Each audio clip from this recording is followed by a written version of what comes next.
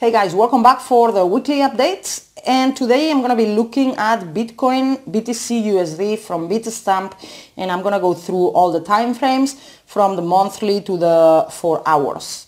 So we start on the monthly and we can see the general trend is up uh, like always.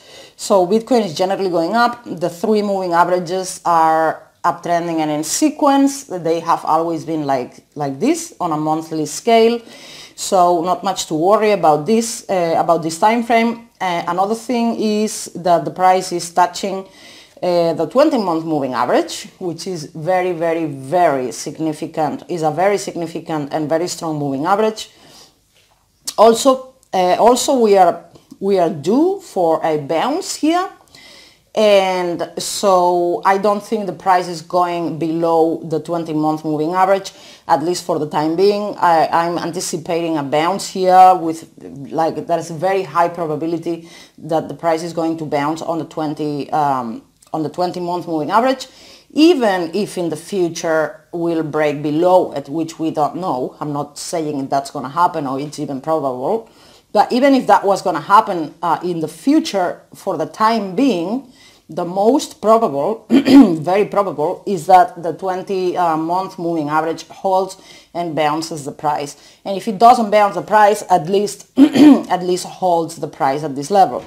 If we look in the past, uh, never before the price went below the 20-month moving average, like there was nothing there. It took several months to break below it and it only breaks below it uh, during the last capitulation phase of a bear market. Here it's not clear we like I mean there's no signs that we are that we are in a bear market or that we are going to enter a bear market. There's no signs yet. This is just a consolidation consolidation period here from this uh, top here at 66,000 more or less uh, it's just really been consolidating with high volatility, but it's been basically going sideways. So we don't have a downtrend here. We can't we can't be calling uh, for a bear market here, uh, at least not yet. And yes, like I said, the 20 month the 20 month moving average usually either bounces the price or it or it holds the price there. The price doesn't go below the 20 month moving average like there was nothing there. So, and because we are due for a bounce, I think we're bouncing from here and we're gonna go, we're gonna be going back up to between 40 and $50,000. And then we'll, if that happens, then we'll have to take it from there. Moving on to the weekly. So on the weekly also we almost touched the 100, uh, 100 week moving average, which is the yellow moving average. This one is not as significant as the 20 month moving average, but generally the four moving averages are still uptrending and in sequence. All of them, we didn't even have a cross on the, um, the 50 and the 20 uh, week moving average yet. So again, no reason uh, to call for a bear market. Now, this is a double top, which is a reversal pattern, which is calling for a, for a trend reversal which we had already. We've been for around three months downtrending. So this is not yet a W pattern or an inverse W, I should say. We would have to go below 28,000 uh, for this to be an inverse W pattern, uh, which is also a reversal pattern uh, and a bearish, uh, bearish pattern. Uh, if if 28,000 was to break, which is the lowest here in the middle, if that was to break, the target for this inverse W would be absurdly low. So it would be, so if the top was at 67,000 and the bottom of this pattern is at 28,000, the, the bearish target would be 13,000, which is this peak here actually. 13,000 it's like just too low to, to call for it. Like, I mean, it, it's just, uh, in my view, very, very unlikely uh, that the price of Bitcoin would go that low. Not impossible. I mean, crypto markets are crazy and we've seen 80 and 90% corrections several times. However, this is not the structure of the classic Bitcoin top, like this top, like this top, like this top, and another one more we had in the past. In 2010, there was another top, like these two and like this one here. The difference between these tops here and the current top is that when we reach the top of the barrel, the price crashes in a matter of minutes. It doesn't give you two months to get out of your positions. Okay, it's just, it touches the top and it just crashes right there. In this case here, look how many, these are the weekly candles. So two months there, like trying to break. And here, like one month at the top. Usually top of the markets don't give you one month to exit your positions. It, will just crash immediately. So this doesn't look like a top of the bubble, uh, you know, for, for Bitcoin. Of course, patterns don't have to continue to repeat forever. It could be a top and we could go into a better market. There's, it's not impossible. However, it would be the first time that we see this type of top uh, in Bitcoin cycles. I hope it's clear what I'm trying to explain here. So RSI, it's also extended down. Like basically every, everything is calling for a bounce. Um, even if it's just a relief bounce and then we take it from there. it could be the local top or it could be only a bounce. For me, I'm leaning more to the, to the side of consolidation here. I think the price is just consolidating at this level, which I mean, it's normal after such vertical race here. It needs to like, you know, consolidate for some time before it can resume its way up. So I think we are not entering a bear market. We are just on a period of, of, of long consolidation after such vertical move here. Moving on to the daily. The daily looks bearish, uh, but again overdue for a bounce. So why is it bearish? Well, because it's been in a downtrend for like three months. prices below all moving averages, and that's a bearish trend. And in technical analysis, you need to follow the trend until the end when it bends. However, we are overdue uh, for a bounce, like I said, because it's already uh, it's been uh, going down for already very long. So I would anticipate a bounce here back up to like more or less 45,000, somewhere between 40 and 50,000. And then we'll see if the price is able to get above the 50, uh, the 50-day moving average uh, it's going to find a lot of resistance in this area here between 40 and 50,000. So we're gonna we're just gonna have to to wait and and see and see what happens and see how how the price action develops. But for now, I think we are overdue for a bounce here. And going on the four hours, uh, well, yeah, it looks like this was the local bottom. Uh, we had capitulation here a big spike of red volume and uh, again a big spike, a spike of red volume and then two big spikes of green volume signaling a reversal. So this looks very much, it looks to me we're bouncing here. This was the local top. By the way, we called for for 30,000 target. The price didn't touch 30,000 on Bitstamp. The lowest was at uh, 33,000. But yeah, we called for, for this bearish break um, here on the members area. I have the Bitcoin uh, video that I made on the 7th of January, so like 20 days ago, 18 days ago. Bearish target 30k. Uh, you can see the title here, 7th of January.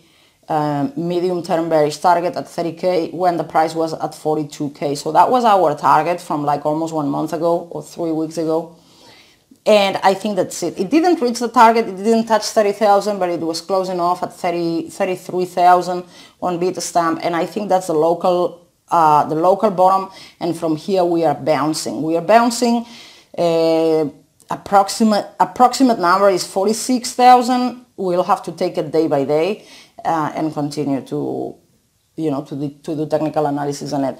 Now, I was commenting, I, I said before, I think this is just an area of uh, consolidation. Here it seems to me this will consolidate and stay above, excuse me, stay above the 20-month moving average and just consolidate around this level until it's ready to, to continue the uptrend. Uh, however, if we see capitulation, then I would anticipate the price to go to the 50-month moving average. That's, that would be around $20,000 although 20,000 would be a little bit too obvious because it's the previous peak uh, of the previous bubble. Like it would be like too expected. If the price goes below 30,000 I think everyone would expect 20,000 to retest the top of this bubble and markets are not that obvious so I wouldn't like I mean who knows? We, we're gonna have to wait and see but I think 20,000 would be too obvious. I think it would bounce before like at 26,000 or something like that just so that orders don't get filled here. Uh, but yeah like I said it seems to me we are in a period of consolidation. The only thing that has me confused, because uh, a lot of people now is asking, are we in a bear market? Are we are we are we entering a bear, full on, full on bear market? Uh, many people are concerned about this, which is bullish. If we if we look at market sentiment, but in the other hand, I'm a little bit confused by the Bitcoin dominance because if you if you uh, watched my last video here on YouTube last Tuesday, I was actually doing technical analysis on the Bitcoin dominance and the price was right at this bottom here. So it was already below these two lows here.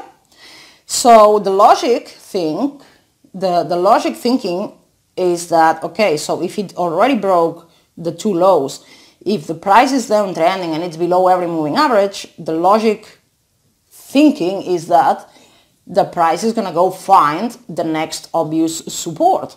And the next obvious support on the downside was anywhere in this green area that I draw last week.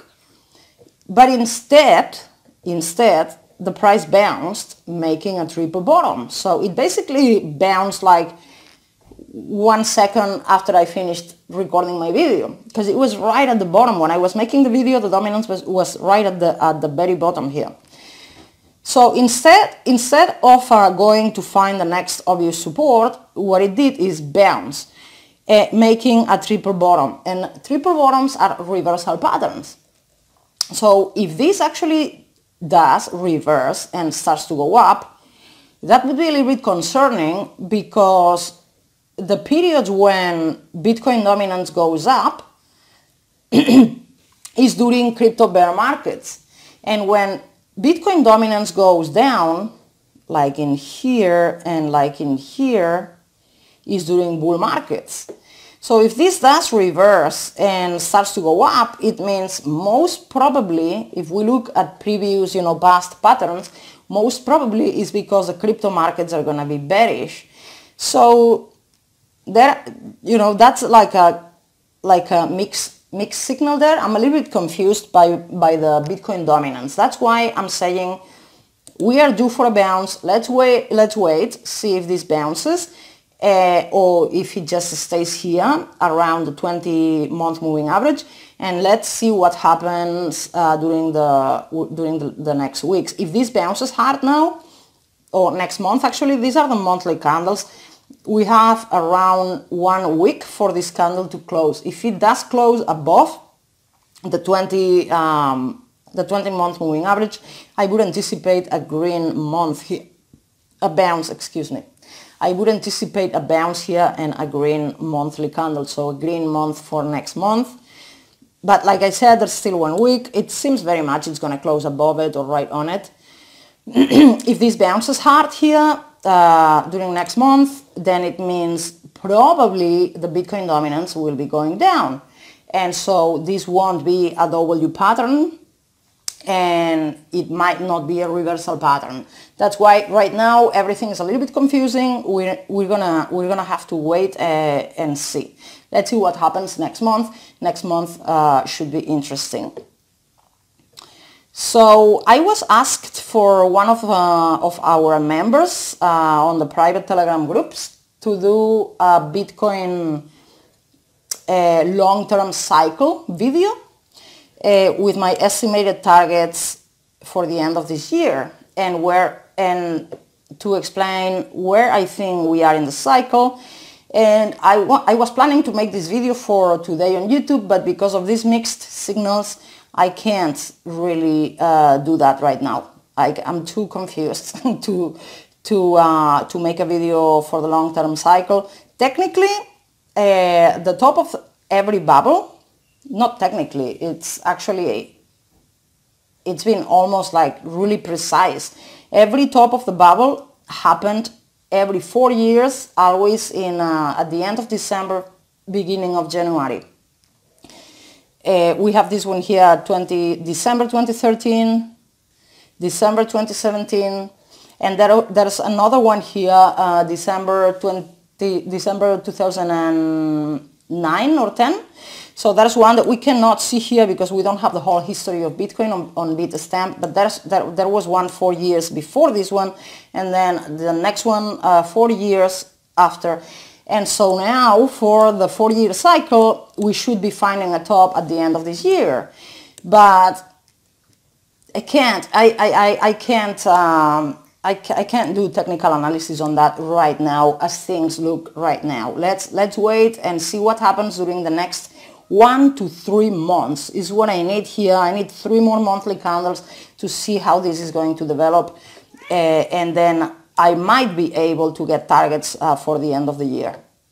So that's all that I have for today. Thank you very much guys for joining me. If you're interested in joining the private groups, uh, you can find the link below. And if you're int- interested in free education, you can find the link below as well. Uh, you have my uh, tutorials and my courses on my website, completely free. You, don't even have to uh, give your email, nothing. It's just open. Then just go to the website, click and watch. So thank you again for watching. See you next week. Bye.